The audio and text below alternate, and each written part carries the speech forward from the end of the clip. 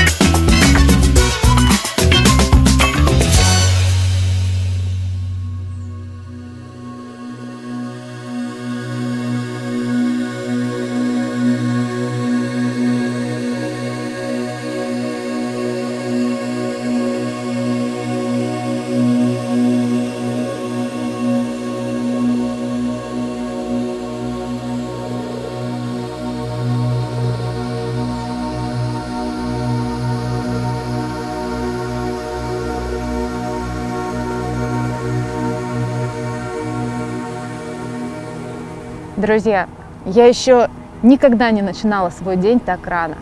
Сегодня я встала в 3 утра, чтобы приехать сюда и увидеть рассвет своими глазами и поделиться этой красотой с вами. Эта программа «Соня может». Впереди нас ждет невероятно насыщенный уикенд. Оставайтесь с нами.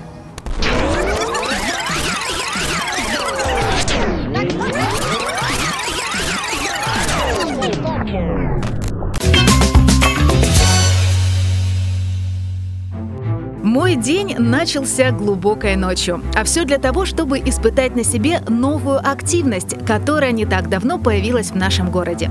Друзья, смело заявляю, сегодня ваше представление об отдыхе в Барнауле разделится на «до» и «после». Я сделала для вас небольшую подборочку, как, где и за сколько можно здорово провести время, не выезжая за пределы нашего города. Начну, пожалуй, с новинки туры по Аби на саббордах. Итак, тур по воде у нас будет длиться два часа, и наша главная задача – это встретить красивый рассвет. Собственно, для этого э, все это и затевалось. Перед вами группа людей, желающих полюбоваться первыми лучами солнца. Небольшой инструктаж, весло в руки и вперед за новыми впечатлениями и красивыми видами. Что хорошо на сабборде, так это то, что располагаться на нем можно как угодно. Я решила для начала проплыть на коленях, а потом уже попробовать встать. Но это не точно. Так, где-то на середине я должна сесть, да? Так, сажусь на колени. Ага.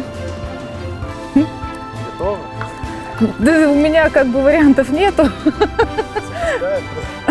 Готово, не готово. Да, запускаем. Сабборд переводится с английского как «гребля, стоя на доске». Если просто лежать на пляже не ваш вариант, но и растекать волны на серфе вы тоже еще не готовы, то сабборд – это нечто среднее. Здесь не требуется специальной физической подготовки.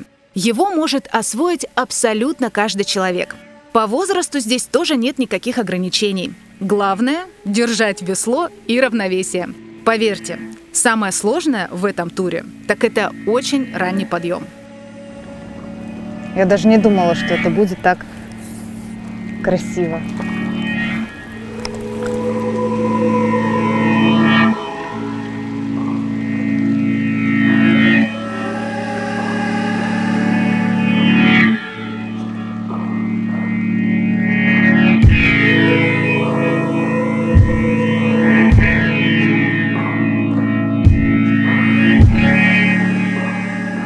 Слушайте, ну когда я только вышла на воду, мне прям было страшновато, ну буквально 2-3 метра, и чувствуешь себя на нем достаточно уверенно.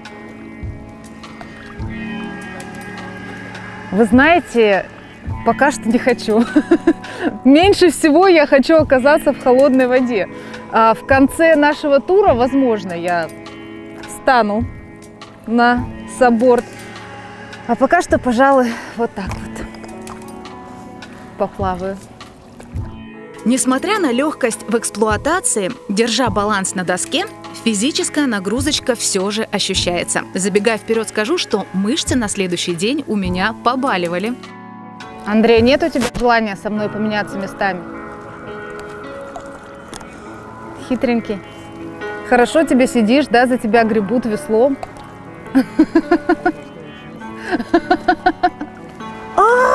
там уже открывается какая красота за поворотом. Обалдеть! К сожалению, камера не передает всей этой красоты. Невозможно через экран почувствовать легкое соприкосновение кожи с туманом и слегка морозный воздух на рассвете. На мой взгляд, это прекрасная возможность соединиться с природой хоть и на пару часов в пределах города. Прогуляться босиком по водичке, смахнуть росу рукой, услышать пение пробуждающихся птиц и пощуриться от первых лучей солнца. Я искренне рекомендую вам как-нибудь устроить себе такой трип. И эмоции новые получите, и фоточку красивую на рассвете запилите. Андрей, ты сделаешь мне красивую фоточку? Хорошо. Так, столкновение. Нет? Жаль.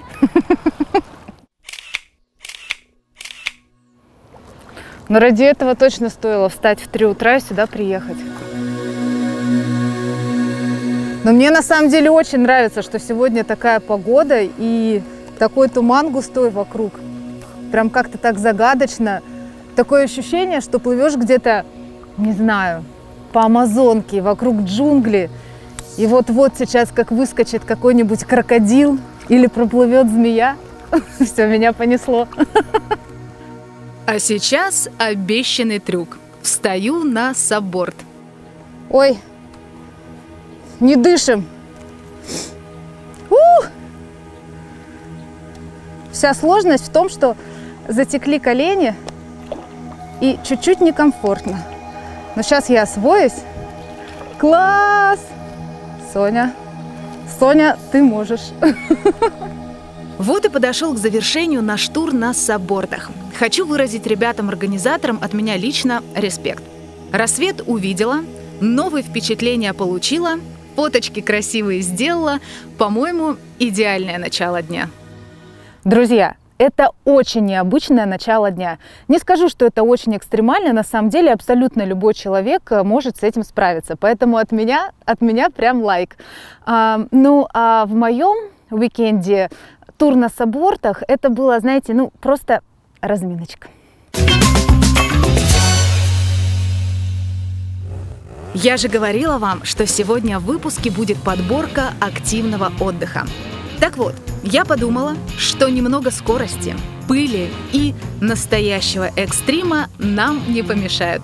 А вы знали, что у нас в городе можно покататься на баге? Ребята, если вы поклонник автогонок или просто хотите немного взбодриться, то погонять на баге – беспроигрышный вариант. Так, ну что, я готова. Что мне надевать? На механике 15 лет назад ездила. Вот знаете, как не пытаешься, не пропьешь, согласна.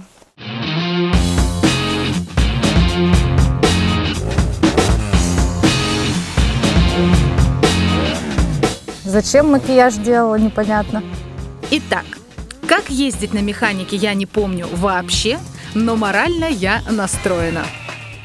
Я поражаюсь э, вашей смелости. Я-то ладно, я-то ужаленная, я поеду, понимаете. А вот вы, Александр, во что вы вписываетесь вообще? Вот тормоз отпущен. Добавляем газ. А сцепление? Прям побольше. Сцепление прям чуть-чуть отпускаем, но газа надо добавить прям много. Прям много. Прям давим. Сцепление приотпускаете? Отпустила. Газа больше? Еще сцепление. Больше газа, больше газа, больше газа. Больше газа. Так, куда едем? Все, газуйте. Ну ладно вам, мне простительно, я 15 лет не ездила на механике и, кстати, не думала, что когда-нибудь сяду за нее вновь.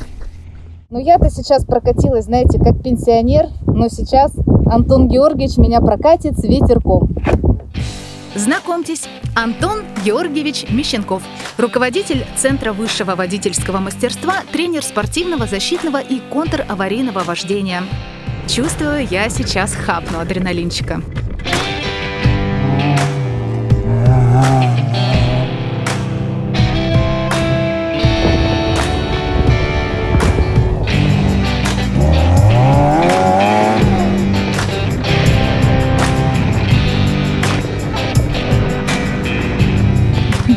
Счастье есть? Вот знаете, мне вечно достается, потому что я вот в кадре все на себе пробую. Ну а куда А вот прокатите-ка Андрея вот с таким же ветерком, а? М? А то что вот он стоит такой хитренький, довольный и улыбается. Прокатите? Андрей, теперь я тебя буду снимать. Вот такая подстава.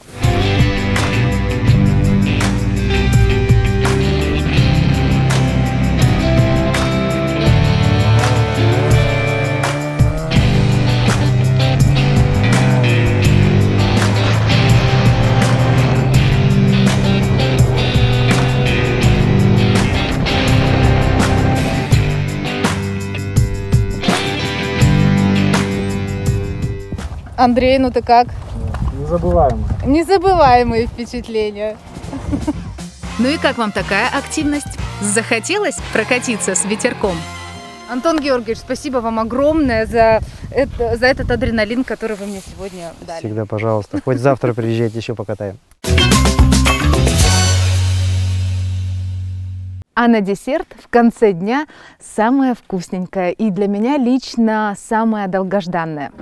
Давайте обойдемся уже вот без этих э, прелюдий, потому что мне уже не терпится наконец-то это сделать. И мне кажется, вы уже догадались, о чем идет речь. Прикоснуться к небу, безграничному, манящему, загадочному и всегда такому далекому. Признаюсь вам, все пилоты, мне кажутся, немного сверхлюдьми.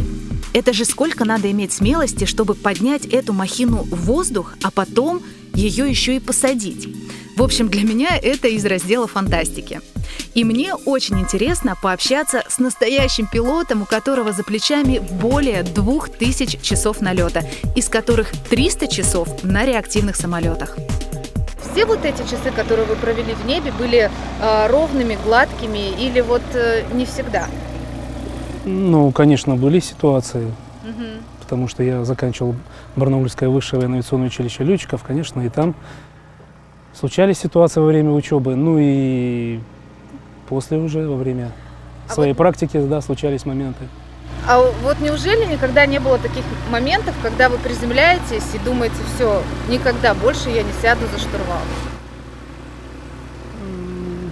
Таких моментов, даже если был один такой случай, достаточно тяжелый, серьезный, с которым мы благополучно вышли, вот, живо-здоровые, и техника осталась целой. Даже после него, то есть на следующий день сел в самолет и вновь. То есть это болезнь.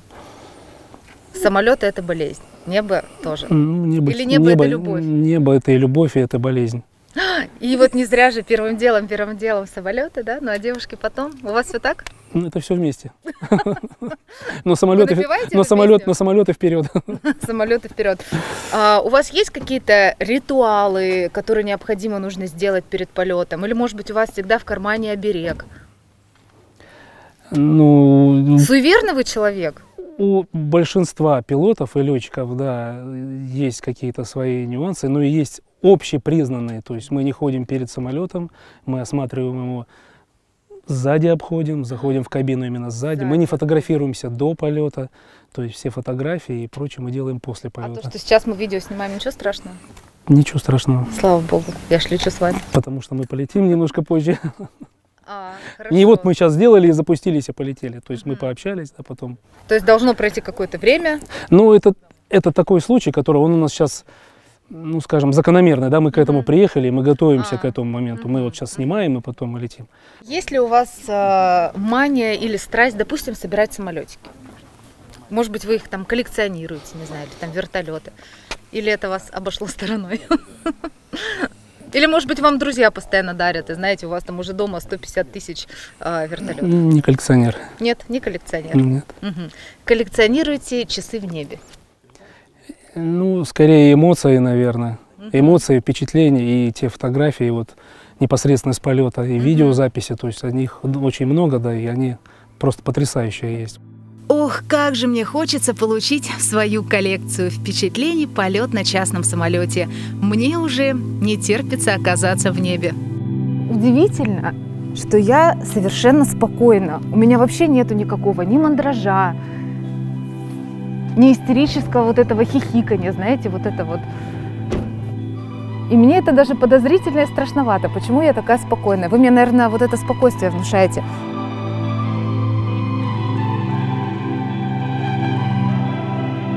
Так, я сижу впервые вообще вот, вот в таком самолете, еще и на э, переднем месте. Я еще буду держаться, наверное, за штурвал? Да? Не, наверное, это точно будет. Точно. А как мне помогать? Я один не справлюсь. О боже мой. Меня переполняют эмоции. Дело в том, что я давно мечтала о таком полете. И не просто полете. Прямо сейчас я испытаю на себе, что такое элементы простого и сложного пилотажа в небе. Поэтому имейте в виду, эмоций будет много.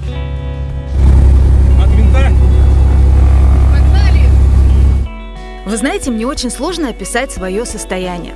С одной стороны, полное доверие пилоту, с другой, когда Януш выполнял виражи, пикирование, горки и боевые развороты, внутри происходили странные ощущения. То ли было щекотно в животе, то ли воздух перехватывало.